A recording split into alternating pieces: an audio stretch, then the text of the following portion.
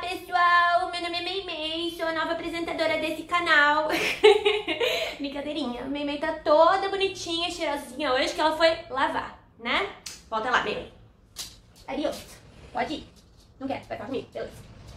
Oi pessoal, tudo bem? Eu sou a Evelyn. Esse é o meu segundo vídeo sobre a minha lipoaspiração. Se você não viu o primeiro, corre lá, que lá eu expliquei tudo. Por que, que eu decidi fazer, como que é o preparatório, qual o valor, é, fotos do pré, fotos do pós, é, como que é o dia da cirurgia, etc, né? Hoje já faz quatro meses e meio que eu fiz a minha operação, a minha lipoaspiração, e eu vim é, dar um update pra vocês, mostrar as fotos de quatro meses depois, porque eu já tinha mostrado pra vocês as fotos de um mês depois, né? E de um mês pra quatro meses depois muda bastante coisa. Eles geralmente falam que os resultados finais a gente começa a ver depois de quatro meses da cirurgia. Então eu estou aqui pra mostrar pra vocês os resultados parcialmente finais, né?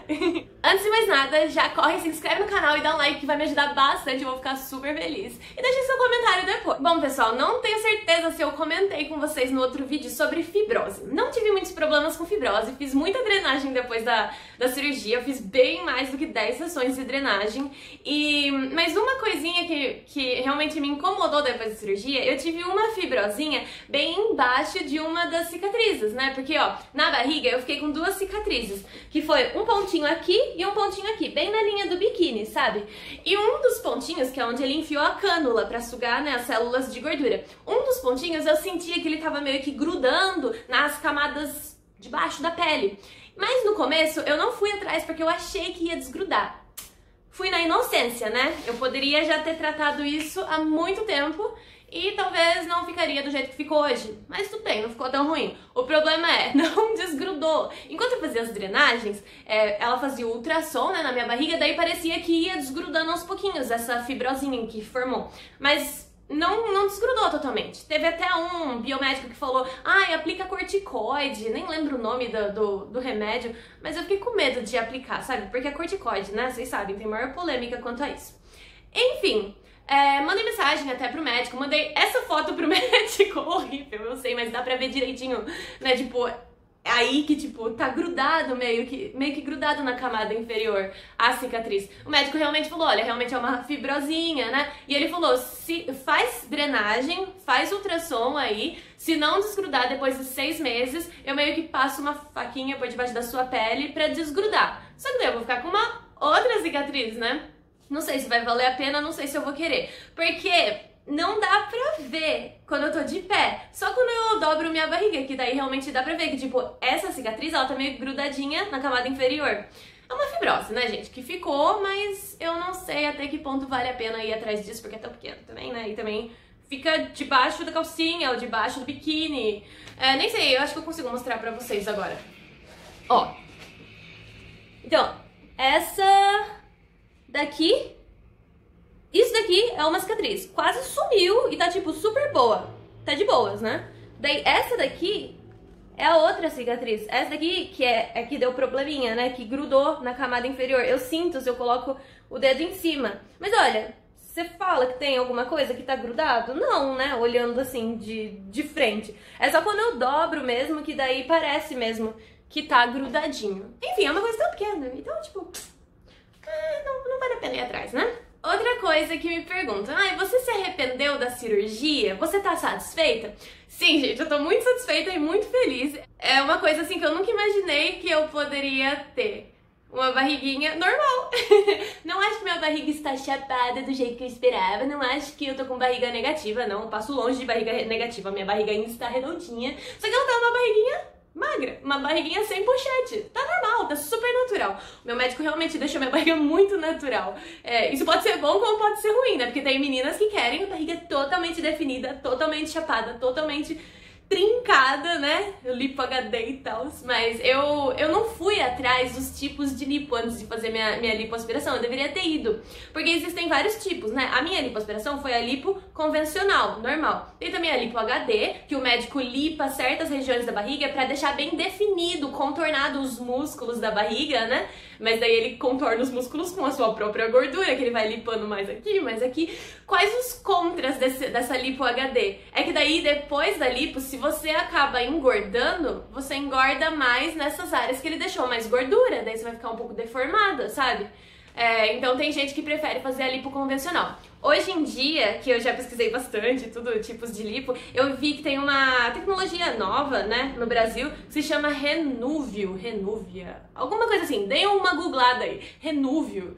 É, alguns médicos estão fazendo, é tipo uma lipo laser, assim, que meio que queima a sua gordura por dentro, só que no, no, queimar a gordura, meio que retrai a pele junto. Gente, é incrível, não dá nenhuma flacidez. Quer dizer, óbvio, um pouquinho de flacidez sempre vai ter, mas ajuda muito com a flacidez, porque a lipo deixa flácida a barriga, gente. Não vou negar, deixa flácida, porque você, você tem, tipo, mais pele do que gordura daí, né?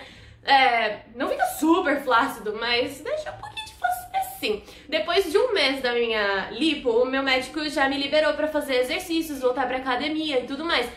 Pergunta se eu fiz. Não, eu não fiz. Eu nunca fui de fazer exercício. Eu deveria ter feito pra ajudar até na flacidez, né? Mas me, me matriculei na academia essa semana, quatro meses e meio depois da minha lipo. Vamos ver, né? Agora vai. Mas eu acho que também esse negócio da flacidez poderia ter sido um resultado melhor se eu tivesse feito a academia depois de um mês. Sobre a cinta, eu usei a cinta junto com a placa na minha barriga por três meses completos. Eu sei que tem médicos que falam que é só por um mês, outros médicos falam que é por dois meses. O meu me indicou usar por três meses e depois de três meses no retorno ele ainda falou: ai, se você puder, continua usando por mais um tempo. Mas eu não, não usei não, porque eu já tava de saco cheio da cinta. Gente, que libertação não precisar mais usar cinta, sério. É, o que mais?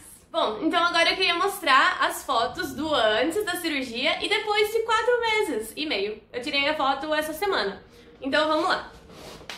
Essas são as fotos de, de frente, né? Dá, não dá pra ver tanta diferença. Acho que a diferença das fotos de frente é mais no culote mesmo.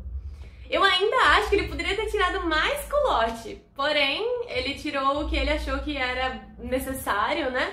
E ele até falou: ah, se eu tirasse mais culote, você não ia perder o corpo violão, sabe? Da mulher brasileira. Então eu acho que é mais de gosto, né? Mas estou super satisfeita.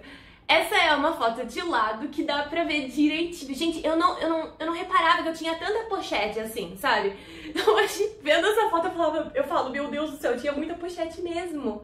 E me incomodava muito, porque eu não podia usar determinados tipos de short, determinados tipos de calça muito apertados aqui na barriga, que eu ficava com uma barriguinha de grávida, assim, sabe? Hoje, nossa, muito feliz que eu consigo usar. Se bem que eu não consegui comprar muita roupa ainda por causa da pandemia, né? Não dá pra. A gente até vai na loja de roupa, mas daí não dá pra experimentar no provador, porque tá tudo fechado, um saco. Ai meu Deus, essa pandemia tem que ir embora logo, cadê a vacina? Enfim, essa é a foto de trás. Ignorem minha celulite. Tentei jogar uns filtrinhos aí em cima pra amenizar o bagulho, porque tá tenso. E também ignorem minhas espinhas na costa. Inclusive, se alguém tem algum produto milagroso pra se livrar disso, coloquem nos comentários, porque eu preciso muito. Tô com muita espinha nas costas, não sei mais o que eu faço, gente. E de costas, acho que nem dá pra ver tanta diferença assim. Dá pra ver bastante o flanco, né? É, o flanco dá pra ver bastante diferença que ele tirou. E, gente, é isso. Se vocês tiverem alguma outra dúvida... Ah, gente, uma, uma novidade pra vocês. Eu fiz uma outra cirurgia plástica, a doida das plásticas, né?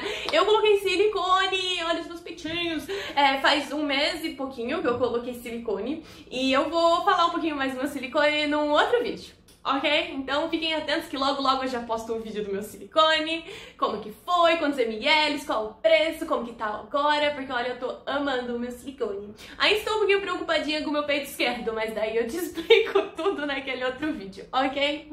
Qualquer dúvida coloquem aqui nos comentários e um beijo, tchau, tchau! Tchau!